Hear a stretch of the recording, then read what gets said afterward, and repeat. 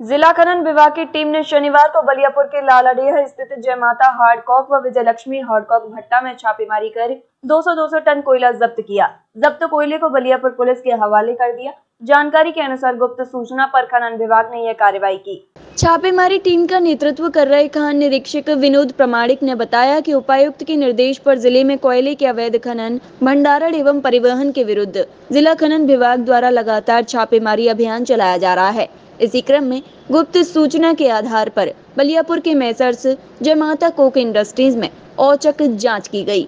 वहाँ स्टोर किया गया लगभग 200 टन कच्चा कोयला बिना परिवहन चालान के पाया गया।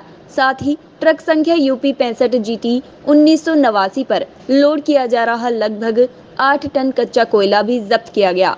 जाँच दल ने ट्रक के ड्राइवर महेश कुमार, जो उत्तर प्रदेश के सोनभद्र ज़िले का रहने वाला है, उसको पकड़ लिया गया। पूछताछ में ड्राइवर ने बताया कि यहाँ से ट्रक पर कोयला लोड कर उसे कानपुर ले जाना था। ट्रक पर करीब आठ टन कच्चा कोयला लोड किया जा चुका है। ट्रक ड्राइवर व खलासी को बलियापुर थाने के सुपुर्द कर दिया गया है।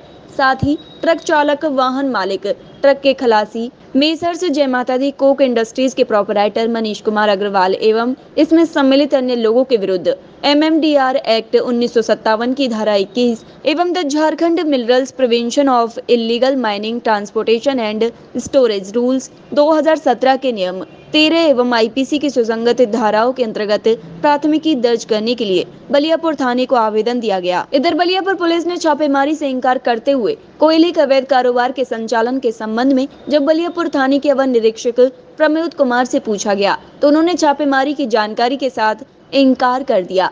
विदित हो कि लालाडीह स्थित हाड़ भट्टों में काफ़ी दिनों से अवैध कोयले का कारोबार चल रहा था।